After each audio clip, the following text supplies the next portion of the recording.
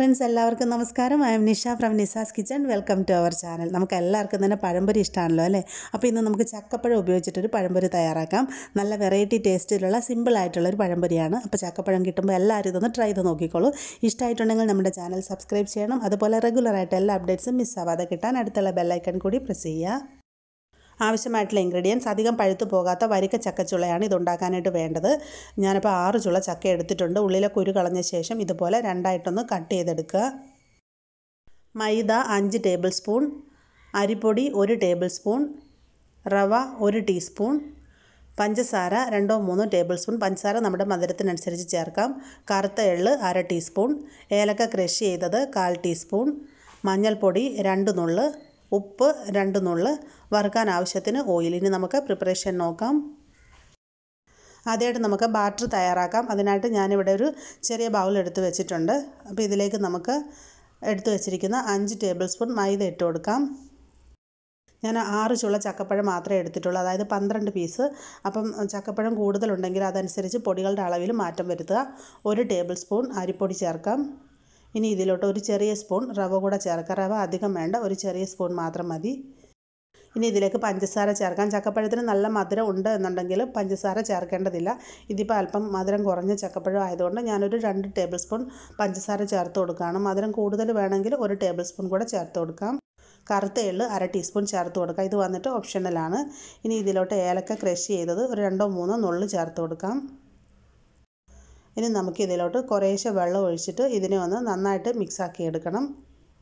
നമ്മുടെ ഈ ബാറ്ററിന് ലൈറ്റായിട്ട് ഒരു കളർ കിട്ടാൻ വേണ്ടിയിട്ട് നമുക്കിതിലോട്ട് ഒരു രണ്ട് നുള്ള് മഞ്ഞൾപ്പൊടി ചേർത്ത് കൊടുക്കാം. മഞ്ഞൾപ്പൊടി അധികം ചേർക്കേണ്ട ആവശ്യമില്ല. നന്നായിട്ട് മിക്സ് ചെയ്യാം. വെള്ളം ഇതുപോലെ കുറേശ്ശെ ഒഴിച്ചിട്ട് ഒരു ഇഡലിമാവിന്റെ കൺസിസ്റ്റൻസി ഉള്ള ഒരു ബാറ്ററാണ് നമുക്ക് തയ്യാറാക്കി എടുക്കേണ്ടത്.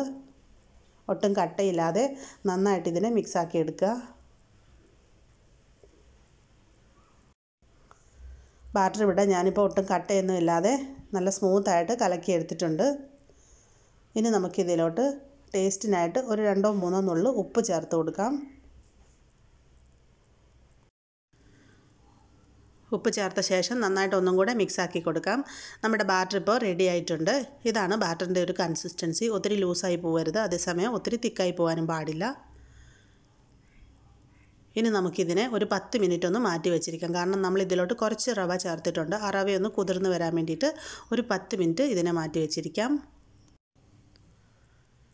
നമ്മളിപ്പോൾ ബാറ്റർ തയ്യാറാക്കി വെച്ചിട്ട് ഒരു പത്ത് മിനിറ്റ് കഴിഞ്ഞിട്ടുണ്ട്. ഇതിപ്പോൾ റെഡി ആയി കഴിഞ്ഞു. ഇനി നമുക്ക് പഴംപൊരി തയ്യാറാക്കാനായിട്ട് തുടങ്ങാം. വറുക്കാൻ ആവശ്യത്തിന് എണ്ണ നന്നായിട്ട് ചൂടാക്കുക. അതിനുശേഷം ഓരോ ചക്കപ്പഴമായിട്ട് എടുത്തിട്ട് നമ്മൾ ഈ തയ്യാറാക്കി വെച്ചിരിക്കുന്ന ബാറ്ററിൽ മുക്കിയെടുക്കാം. ചക്കപ്പഴം മുഴുവനും ബാറ്റർ കൊണ്ട് കവർ ചെയ്തെടുക്കുക. അതിനുശേഷം ഇതിനെ നന്നായി തിളച്ച എണ്ണയിലേക്കിട്ട് വറുത്തെടുക്കാം. ഫ്രൈയിങ്ങിന് വേണ്ടിയിട്ട് ഞാനിവിടെ ഒരു ചീനിച്ചട്ടിയിൽ ഓയിൽ നന്നായിട്ട് ചൂടാക്കി ഇട്ടിട്ടുണ്ട്. അപ്പോൾ ഈ ഓയിലിന്റെ ചൂട് കറക്റ്റ് ആണോ എന്ന് അറിയാൻ വേണ്ടിയിട്ട് തയ്യാറാക്കിയ ബാറ്ററിൽ നിന്ന് ഒരു തുള്ളി ഇതുപോലെ ഒഴിച്ചു കൊടുക്കുക. അപ്പോൾ അത് ഇതുപോലെ മുകളിലേക്ക് പൊന്തി പോരുന്നുണ്ടെങ്കിൽ ഓയിൽ കറക്റ്റായിട്ട് ചൂടായി വന്നിട്ടുണ്ട്. അതേസമയം ഇത് താഴ്ന്നു പോവുകയാണെങ്കിൽ ഓയിലിന്റെ ചൂട് കറക്റ്റായിട്ട് വന്നിട്ടില്ല. നമുക്കിനി ഇതിനെ ഓയിലിൽ നിന്ന് കോരി മാറ്റാം. ഇനി നമുക്കിത് ഫ്രൈ ചെയ്യാനായിട്ട് തുടങ്ങാം. അപ്പോൾ തയ്യാറാക്കി വെച്ചിരിക്കുന്ന ബാറ്റർ ഇവിടെ എടുത്തിട്ടുണ്ട്. അപ്പോൾ അതിലേക്ക് ചക്കപ്പഴത്തിന്റെ ഓരോ പീസായിട്ട് ഇട്ടിട്ട് നന്നായിട്ട് കവർ ചെയ്തെടുക്കുക. അതിനുശേഷം അതിനെ നേരെ തിളച്ച എണ്ണയിലേക്ക് ഇട്ട് കൊടുക്കാം. കൈ പൊള്ളാതെ സൂക്ഷിച്ചിടുക.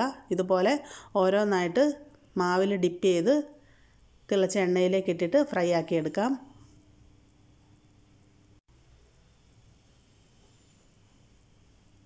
നമുക്കിതിനെ മീഡിയം ഹീറ്റിലിട്ടിട്ട് രണ്ട് വശവും നന്നായിട്ട് മൊരിയിച്ചെടുക്കാം. ഇപ്പോൾ ഇതിന്റെ വൺ സൈഡ് നന്നായിട്ട് ഫ്രൈ ആയി വന്നിട്ടുണ്ട്. നമുക്കിതിനെ തിരിച്ചിട്ട് കൊടുക്കാം. ഇടയ്ക്കിടയ്ക്ക് ഇടയ്ക്ക് തിരിച്ചും മറിച്ചും ഇട്ട് രണ്ട് വശവും നമുക്ക് നന്നായിട്ട് മൊരിയിച്ചെടുക്കാം.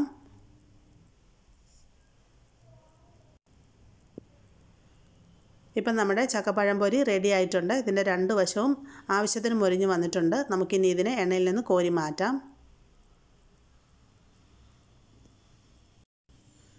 ഇതിനെ നേരെ ടിഷ്യൂ പേപ്പറിലേക്ക് ട്രാൻസ്ഫർ ചെയ്യുക. അല്ലെന്നുണ്ടെങ്കിൽ വൃത്തിയുള്ള കോട്ടൺ തുണിയിലേക്ക് ഇടുക. എക്സസ് ആയിട്ടുള്ള ഓയിലൊക്കെ അത് അബ്സോർബ് ചെയ്തോളും. ഈ ഒരു രീതിയിൽ നമുക്ക് ബാക്കിയിരിക്കുന്ന ചക്കപ്പഴം കൂടെ ഫ്രൈ ആക്കി എടുക്കാം. ഓരോന്നും തമ്മിലൊട്ടാതെ സെപ്പറേറ്റ് ആയിട്ട് ഇട്ട് കൊടുക്കുക.